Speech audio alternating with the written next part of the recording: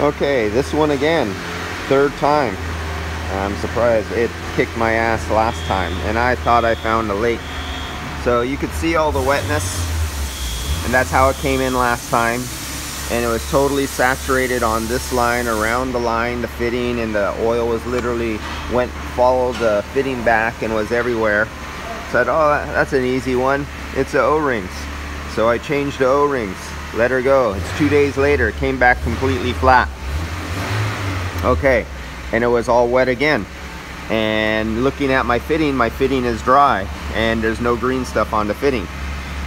Well, a few minutes ago I did pump that up to 170 which is usually higher than I wanted to go but uh, on this one I definitely wanted to find a leak and unfortunately you can't see it let's see well you can't hear it like I could hear. But from here and if somebody is using an air tool the air coming out of the air tool will peg this thing in your ear so be careful if somebody's next to you. And even the vacuum of a carburetor accelerating in the shop uh, it picks it up. So here we go. Come in here. Now it sounds like an ocean of a wind and let's see if I could put my speaker on the speaker of the phone hold on one minute I'm gonna try to take my headphone off and put it on the speaker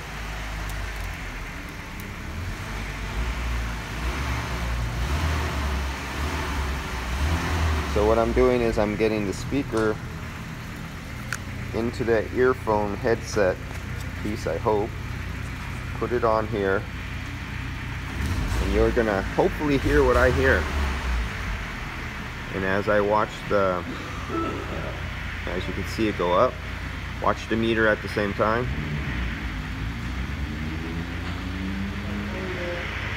See that? Go away.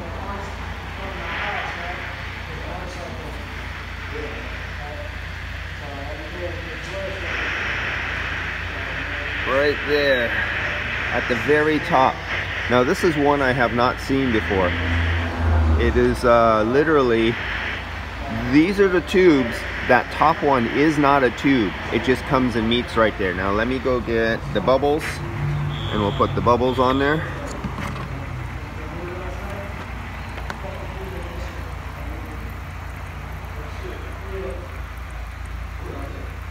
Now this is one I have not seen. That is not a refrigerant tube it's leaking at. It's leaking above the refrigerant tube. This is just a metal piece of support. This is just a metal support. And I've never seen one leak there before. See, this is the first for me.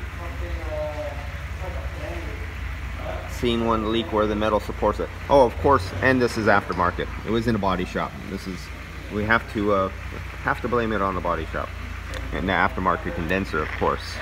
Because if this was a Denso, this wouldn't happen. I always like to say that.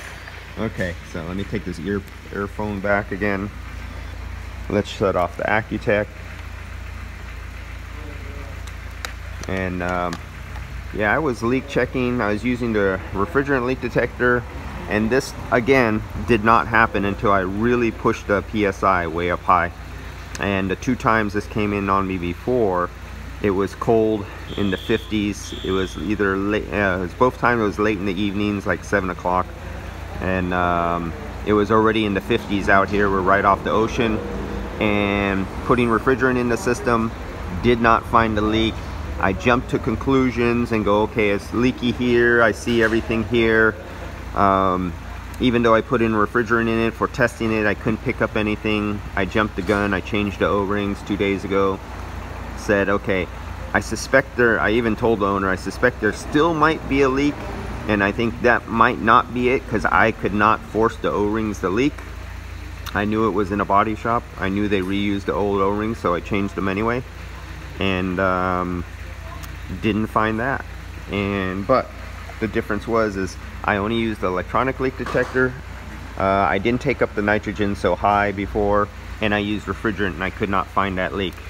But when I used this, it zoomed me right into it from about 18 inches away from way back here. I just moved it around like that and I could hear the noise and I just kept on zeroing in on it and it was really fast. And even if there was refrigerant all over the place and your leak detector would falsely go off, false trigger because you have leaks and you try to turn down the sensitivity, but if there's too much refrigerant in the area, you you can't zero in because once you pass your peak that your sensor can't block out anymore because you have too much refrigerant leaking in the area, your refrigerant uh, leak detector becomes useless. And that's where this become, comes in. So we have dry nitrogen in there and this, and from this far away, I was able to just zoom right in and get right to that. And that's how easy that works. So mystery solved. This one kicked my butt. I won't charge the customer uh, for any diagnosis or recharge or anything. That's my fault. I should have found that the first, or at least by the second time.